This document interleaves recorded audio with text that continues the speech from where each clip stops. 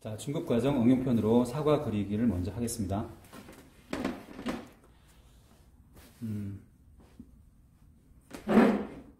사과에 대한 어떤 특징이 딱, 어, 구다. 구다라고 하기에는 정확하게 이제 모양의 어떤 이미지가 있습니다. 구나 이런 것들은 좀 다른 과일일 때 좀 주로 보여지는 특징적인 형- 형태고요. 사과는 어, 위쪽이 상단 부분이 조금 더 더 좀 더 발달했고요. 하단부 하단부는 좀 여기서 꽃이 나는 이, 이 하단부는 조금 좁죠. 그래서 좀 좁아지고 상단 부분에서 좀 넓은 덩어리가 있는데 거기 페인 부분이 이제 이렇게 페인 부분이 이렇게 있고 여기서 꼬다리가 나와 있는 게 사과의 특징이라고 볼 수 있습니다. 사과의 특징이 이러한데 대개 사과의 모양은 좀 다양하기 때문에 되게 일반적으로 사과의 특징적인 모양을 이해하는 게 좋겠습니다.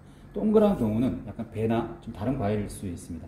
그래서 일단 사과를 그리는데 지금 이제 아까 말 그 보여드렸던 구와 정육면체, 아, 육면체, 그다음 원기둥 이거에 대한 어떤 그 차이들을 하나의 어떤 그 좀 사물을 통해서 참 간단하게 보여드리도록 하겠습니다. 자연물은 자연물은 되게 정확하게 뭐 주어진 형태가 따로 있는 건 아니기 때문에 좀 이제 뭐 사물을 보고 훈련할 때도 조금 더 특징을 큰 특징만 이해하고 어, 조금 더 질감이나 형태, 질감이나 이런 것들에 좀 더 생각을 해서 들어가면 되겠습니다. 진행하면 되겠습니다.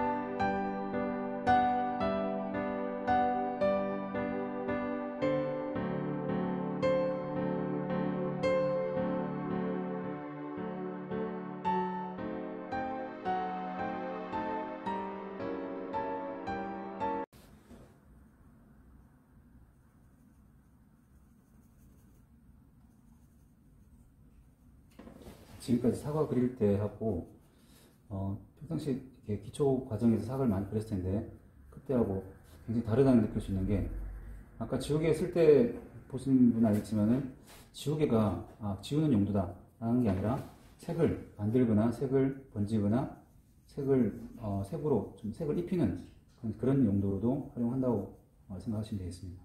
다양한 방법으로 재료들을 다 활용하고 그리고 어, 지금 사과는 되게 이것을 잘못 착각해가지고 까만 점으로 생각하는데 하얀 점이 있습니다. 뭐 사과의 모양에 따라 어떤 품종에 따라 다 차이가 있겠지만은 드로잉의 가장 중요한 핵심은 보이는 그대로 그리는 것이 잘 가장 중요합니다. 그게 가장 기초고 가장 기초 훈련이라고 생각합니다. 그리고 사과 자세히 보면은 또 어느 어떤 특정한 그 문양이 있습니다. 어, 이렇게 보시면은 어, 수박 같이 이렇게 뚜렷한 모양도 있겠지만 그런 모양도 갖춰진 것도 있겠지만은 특유의 모양이기 때문에 그것도 따라가면서 색깔의 차이를 읽어가는 게 좋겠습니다.